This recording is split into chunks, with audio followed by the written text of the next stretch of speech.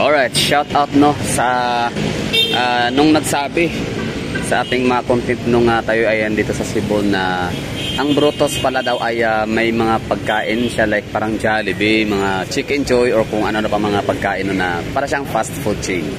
So dahil nga sa aking ano uh, curiosity dati na ano kaya yung Brutos pa parang uh, kulay uh, orange or something no. So ano kaya meron diyan? Kasi ang pagkakalam ko talaga yung Brutus is Brutus Kawasaki motorcycle no. Kumbaga parang uh, brand name no.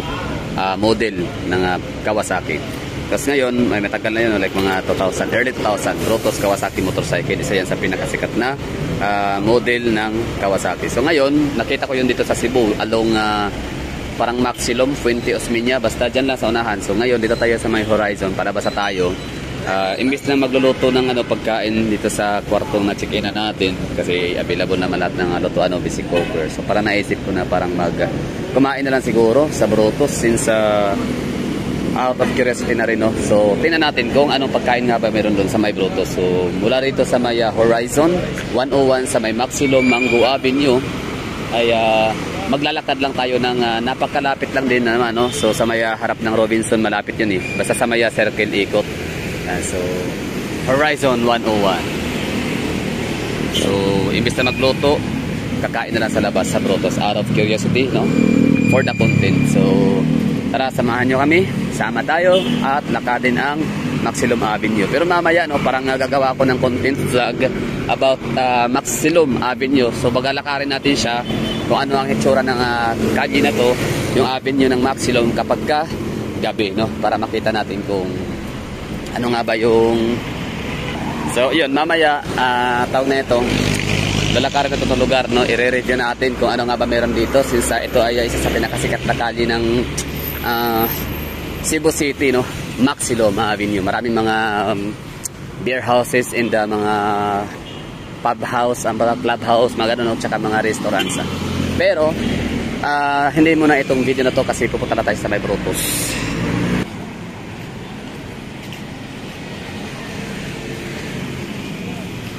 Di ba? Pansin nyo, no? Yung mga naglalakad ng mga Amerikano, mga Westerners. Ibig sabihin yan, no? Tsaka all set na sila for uh, night club mamaya. Yan, ito. Mga night club yan mamaya. Clubhouse, club holding.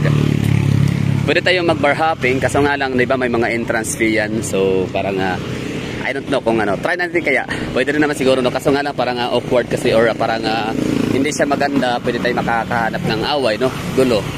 Kasi itong uh, gamit natin for vlogging is cellphone na talaga siya. So napakalaking uh, gadget nito malaking item siya na talagang natako pansinin talaga ng mga tao na tayo ay nagpa-vlog, nag-video, no? So, syempre, to respect privacy. So, parang maano natin, may invite natin yung kanilang privacy na nag enjoy nag-aalat, nag-iinuman. Worst case, may mga uh, nagdi-date pa dyan na uh, hindi naman talaga legal na mag-asawa or mag-jowa, no? So, yun. Kaya parang uh, malabo yung bar hopping natin. Not unless kung talagang iinom tayo. Dami naman pala katabi itong kainan, o maraming mga Greenwich, Jollibee, Burger King, maraming kainan pero ang kakainan natin ay uh, Brutos. Siyempre, part ng ating uh, content making, vlogging ay uh, siyempre titikman natin yung uh, isa sa pinaka-iconic no, na fast food chain dito sa Cebu City.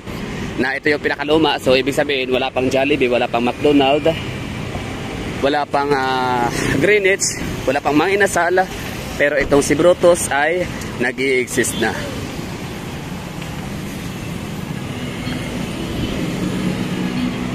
O, oh, di ba? Gago ka. So, yun, no? Bali, ang ganda talaga ng tanawin dito. Promise. Oo. Ganda, maganda dito. The best. maganda sa Maximum, no? Avenue. Talagang uh, kinakabahan tayo, tuloy lalo tayo, no? Parang uh, kababayo, parang basta iba-iba yung feeling pag makita ka ng ano, mga ganong view. Iba yung pakiramdam, no? Sarap sa feelings na, iwan ko, basta parang nakakatuwa lang, gano'n, no? So ngayon, hahanapin natin yung Brutus. Ba't parang nawala?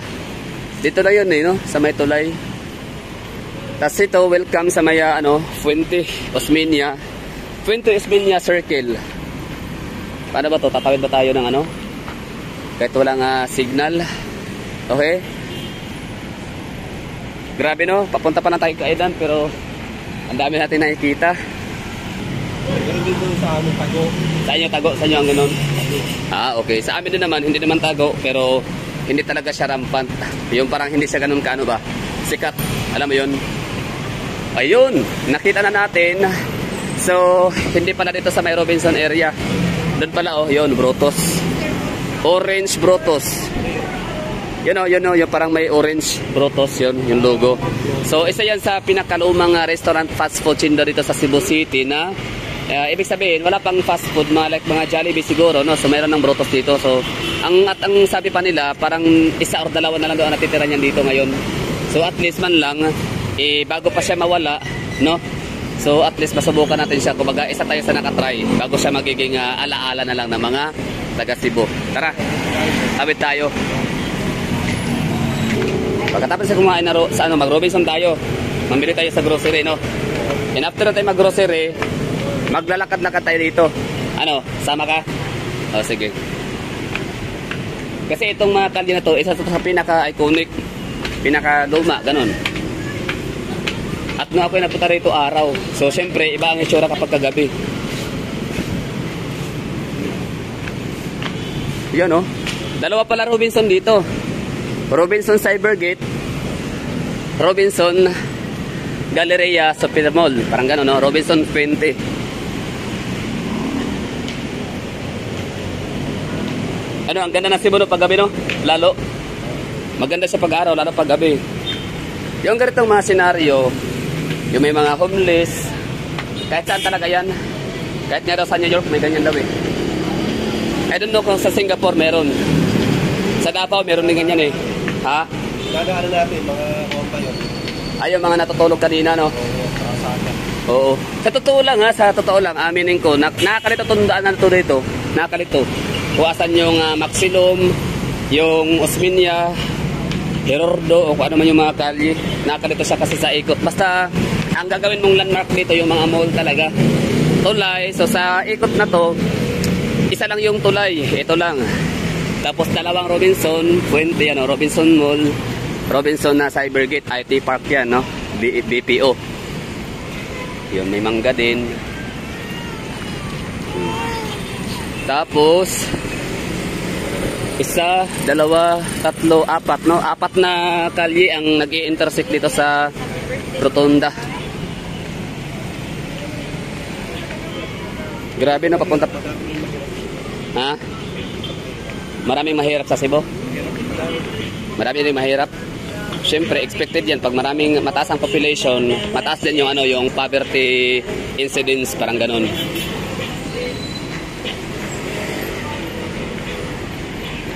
Paano mo nasabing mahirap? Dito, hindi mo malalaman dito. Siguro sa sa mga parte medyo malayo dito. Mm, okay.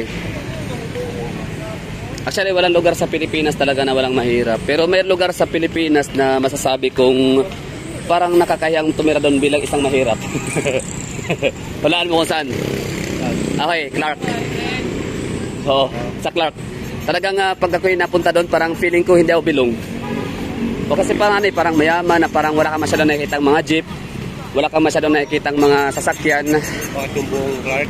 Hindi ko alam, pero libasa lang din kasi napunta ako sa may airport, sa may SM Clark, Uh, sa Clark, basta sa ano sa sentro, sa proper ng Clark. Oh, so parang masasabi ko parang parang ano yata, parang nakahiyang ah, parang burger, ha? burger lang to, ang paninda nito. Parang burger no. Pero sige try na natin kahit ano, kahit burger lang. Itikim na naman eh, wala namang mawawala. So tinabihan siya ng McDonald oh. oh. So yun na, malapit na tayo dito sa Brutus Orange. Ayun. Welcome to Brutus Orange. At ngayon ay uh, titinan yung kanilang menu.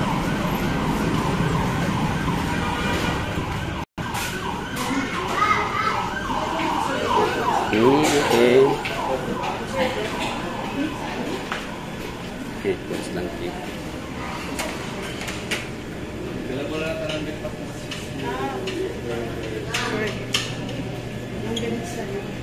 So, natin yung menu nila. Oh. Yan. Shawarma. Meron silang uh, spaghetti, regular fries, Texan hotdog, meron silang uh, ano yan, burger, ah, budget burger steak, Meron silang uh, sizzling chicken, sizzling fish fillet, ano? Chicken ba? Ba, rice ba yun? Yung shawarma. Shawarma rice? Oo, possible. Shawarma, ayun na, shawarma rice. Ang isa naman, shawarma fries. Oo.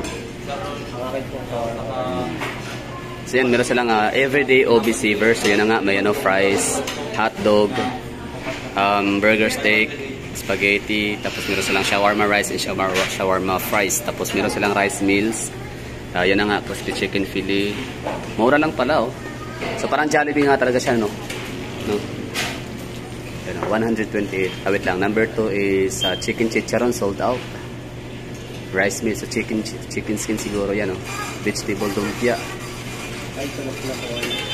Ano sa iyo? Fish fillet. Fish fillet.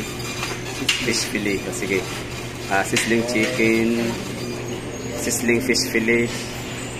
Tapos sa isa naman ay, ano yan, Texan hotdog, one piece chicken brotos.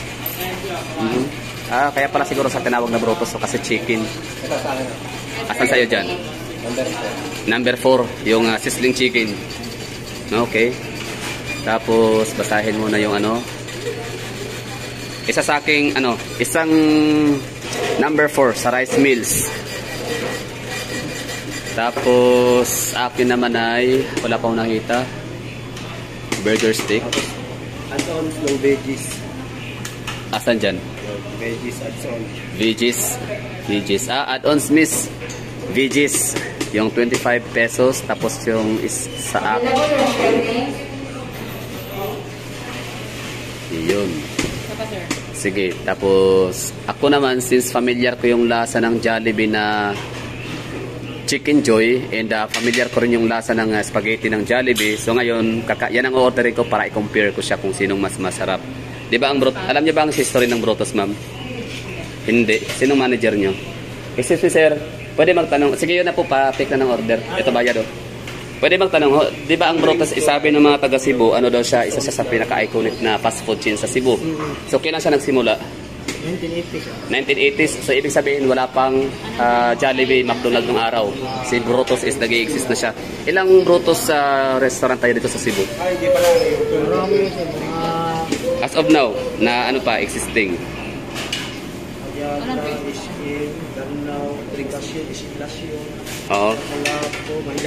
Ah, sige, so ibig sabihin, ano, ah, marami. Kasi parang pansin ko, parang siguro pang dalawa na yata ang nakita ko within the city of Cebu. Ayala, SMCP Cebu, Mm, No, okay. Mm, okay. Ba't kaya sir wala siyang ano, walang mga dumating na brutos sa amin sa Mindanao? Or ah, kahit sa Luzon? Wala. Mm. So eh, siya, siya ba ay ah, expanding siya or pakunti na pakunti ang brutos? Expanding, ah, maganda naman Kami oh. kami, mag-open kami doon sa Mactan. Sa. Oh, magaling no. Kaya akala kasi parang ano eh, ah, Ay, IT park din kami sa si Black. mm, okay. So sana, Sano South, mm, Sano Imol, Mm-mm. Sano Pamilya, Manawa. mm. So since familiar ko yung ano, yung spaghetti ng Jollibee and uh, chicken joy ng Jollibee kasi sabi kasi ng mga subscribers ko ng mga ta, mga Cebuano na ang Brutos na talaga is kumbaga parang siya yung pang counterpart ng Jollibee and McDonald's fast food chain. Actually, mas a- mas advanced, mas una nga daw to talaga ng exist sa Cebu. So ngayon, dahil familiar ko yung chicken joy and the spaghetti ng Jollibee, yun ang in-order ko para ma-tik- ma- ma-compare ko yung ano, yung lasa kung alin nga ba ang mas masarap. Tapos ngayon, anong maliban doon sa ano, anong pinaka best seller po ninyo?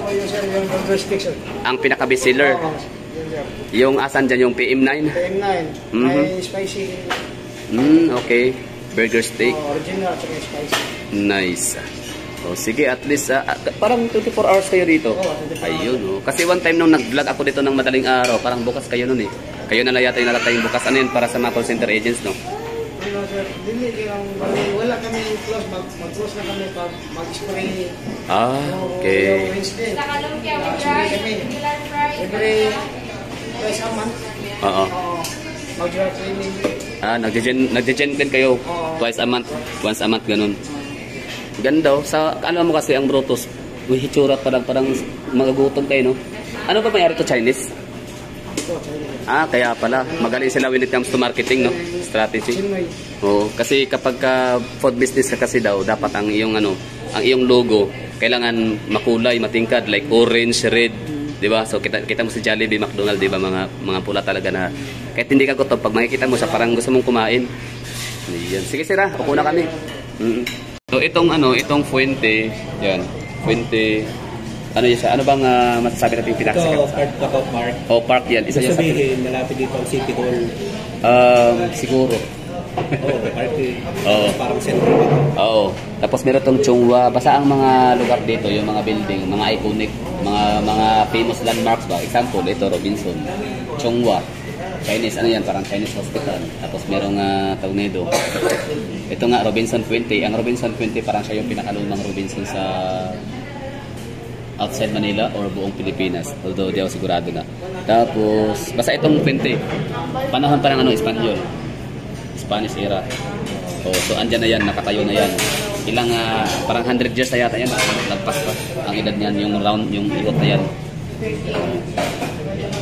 Pero hindi ako sigurado makakagalang mga Cebuano at mga tawag yung pinagsasabi ko about sa ano, era, years, no, decades in a kung siglo, totoo ba yun na 100 years pero parang yun ang sinasabi niyo di ba ng iba dyan panahon pa Spanish era pa lang Spanish time or American era I don't know basta iconic yan 20 tapos ngayon nung pagpunta ko dito ano yan upaw yan. Kumbaga walang masyadong puno walang masyadong may mga puno pero masyadong walang dahon kasi kakatapos lang ni Bagyong ulit nun.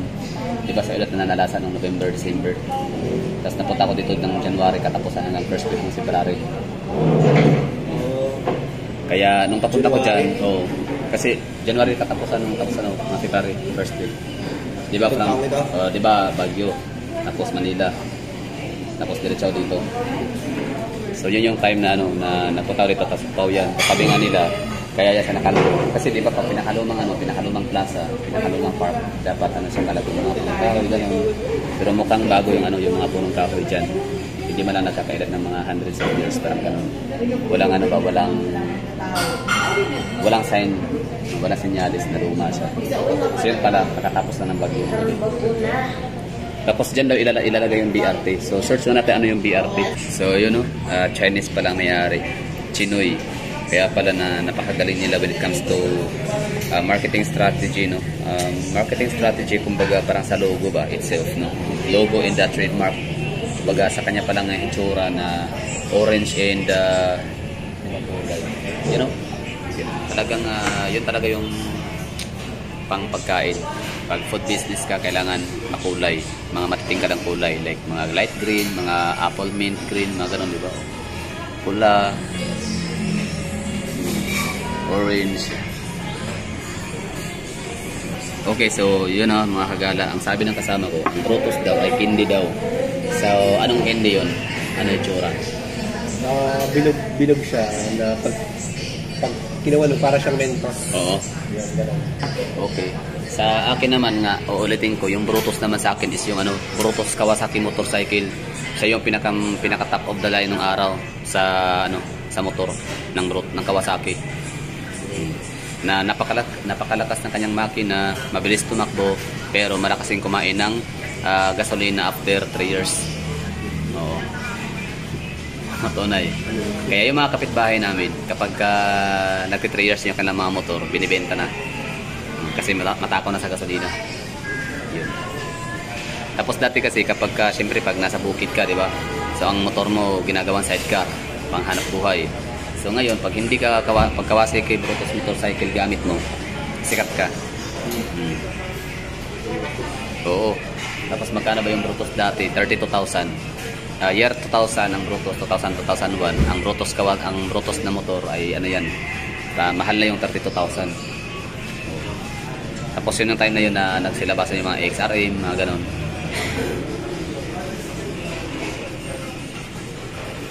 Brutus. Yun no, sinerge talaga ng ating ah, kasama dito ang uh, Brutus. So ito pala yung, Pa, paano, nagpaalala ito nung kinakain kong candy dati. ah ito yung kinakain nyo dati. Go. Ah, okay. Dati nga, dati oh. So, bakit wala to sa amin? Finish Broto Story, Step 3 in review. Bak so, syempre, mukhang ano, lakas maka-American, no? The Ohio Street. Hmm. Baka imported. Dala ng mga tiyahin, galing abroad. Eh, hindi basta malimit yan. eh. Ah, yun na, yun na, serve na. Ayun. This is it, pansit.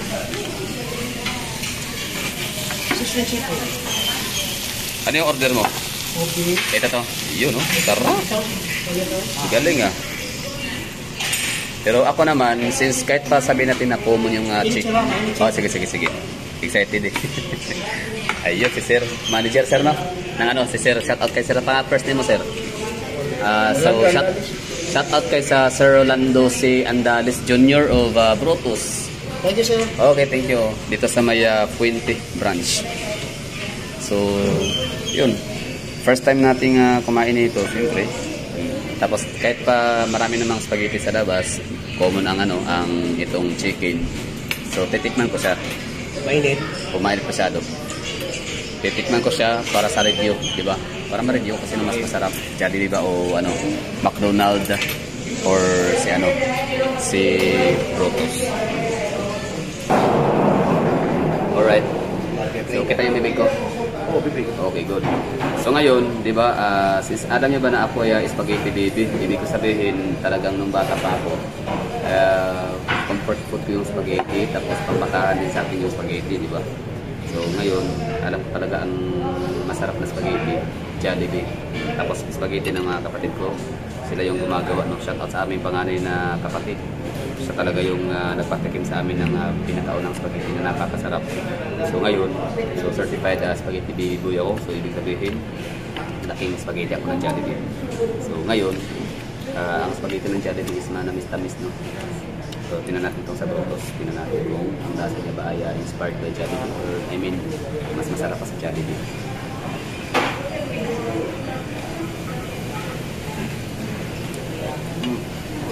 Laging tama-tama. Nakikita. Nakikita. Ang mata, ay bibig. Nawala na. Okay, good. Bibig na lang. Nawala na bibig. Ayan. Okay. Yan, nakita yung ano ko, mukha. Ano yan? Pero para siya. Kanyang ano, kanyang hotdog.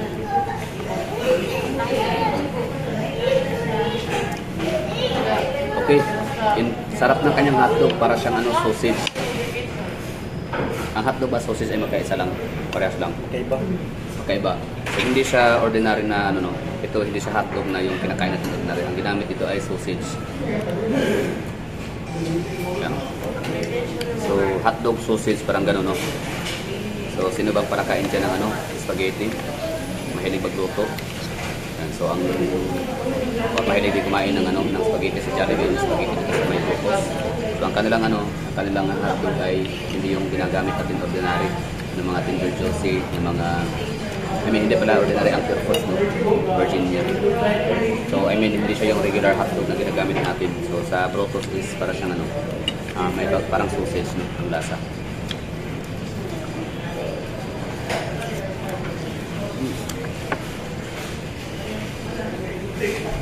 So, yun, tama. Ang kanyang lasa, ang kanyang sauce naman ay ah, Filipino style.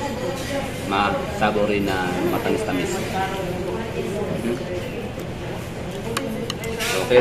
Tapos siyempre yung cheese, no? Ramdaman dito yung cheese. So yung pasta, okay lang siguro yung pasta. Wala naman talaga wala tayong makikita pasta na yung lasa talaga ay trademark, no? Yung kapag ka natikman mo yung lasa, alam mo na talaga na ito ay El Real, ito ay El Pasta or uh, ano yun, Rams, mga ganun. So wala, okay lang sa pasta. Basta yung sa hotdog nito is iba siya sa hotdog ng Jollibee in McDonald's. Hindi siya yung uh, regular hotdog na ginagamit natin. So ang sausage siya. No?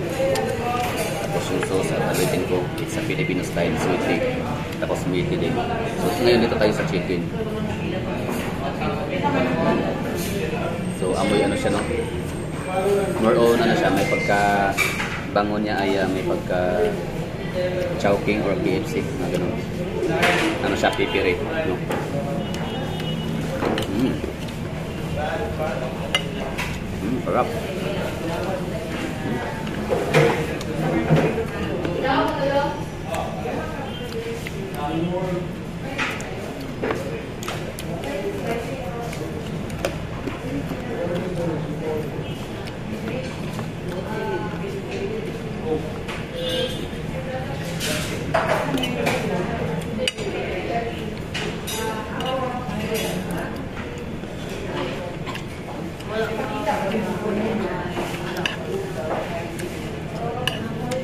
Okay.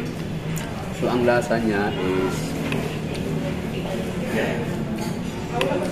parang ato. May meron akong bagong paboritong ano, chicken joy. Ito. Kasi alam mo ba na every time na ako ay nagluluto ng ano. Kasi mo naman di ba kahit itlog nilalagay ko ng paminta.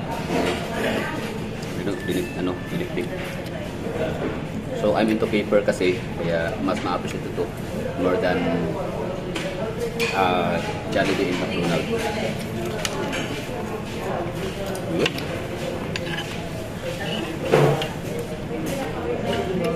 Partida, wala ka siyang gravy ha.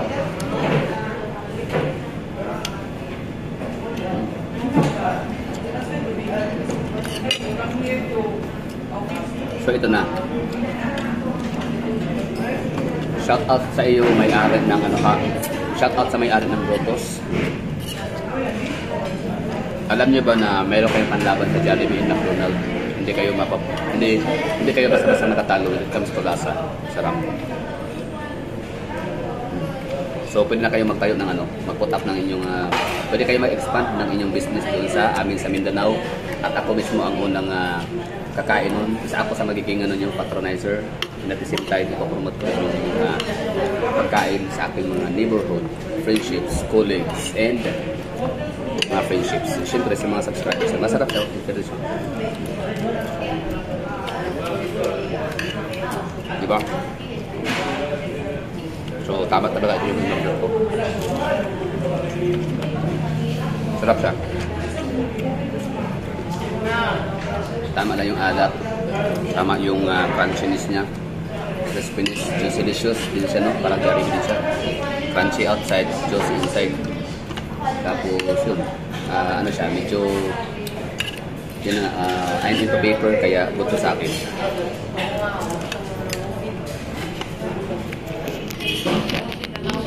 Pero syempre, when it comes to taste naman talaga, magkaiba-iba pa kasi tayo ng ano. Ang mga tao ay magkakaiba ng taste buds. No? Although meron tayo tinatawag na as one thing in common as Asian, Southeast Asian or as a Filipino.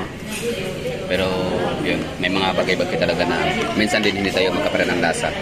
So kung sa akin ay ma, mukhang may laban talaga to kaya no, Jollibee and McDonald's. Sa totoo lang talaga nakasawa na rin puro McDonald's and Jollibee. No? So kay McDonald's ngayon ang kinakain ko ay ano lang, yung 171 pesos na quarter pound na burger. Tapos sa Jollibee naman ay um, ano ba? Yung kanilang pie. Ikaw, anong kinakain mo sa Jollibee? Manager dito, parang pioneer. Parang pioneer means siya yung pinakauna. Parang uh, like mga siguro mga 10 years ago, no? Kumularo tayo to. Ha? Kumularo tayo. Ah, mula nung naitayo to. Hmm, okay. Pwede rin. Ah, ganun naman talaga pag manager, parang ano, parang ah, manager sa nabara parang by experience. No? Mabait din. Yan, shout out kay Sir na manager ng Brotos dito sa may uh, Fuente.